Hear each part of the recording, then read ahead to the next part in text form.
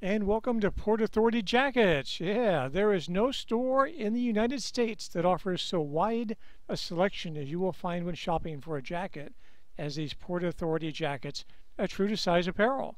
Feast your eyes on a staggering 240 styles of Port Authority jackets that are sure to bring smiles to the team or businesses business buyer rather seeking to uniform their employees for trade shows or customer appreciation giveaways. The sizes range from small to plus size 6XL and are made in men's and companion styles for women and youth.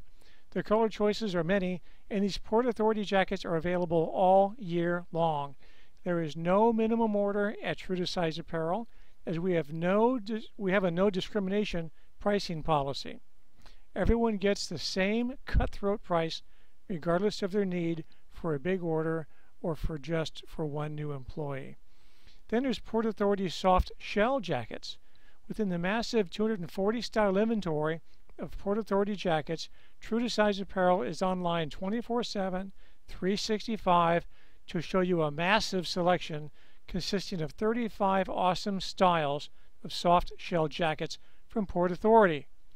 The Embark soft shell jacket L307 and J307 are very popular this year, while the Glacier soft shell jackets J790 and the women's L790 have been around for many years.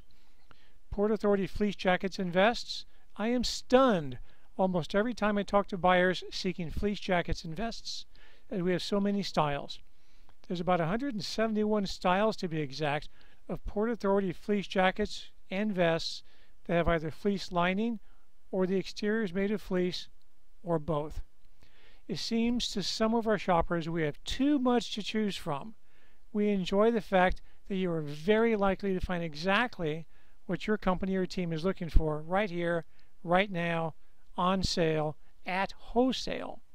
If you're looking for customized logo embroidery, give the company store at True to Size Apparel a second look, as the digitizing is under 8 bucks for 5,000 stitches, and all orders are rush so you get fast service without having to pay extra for it.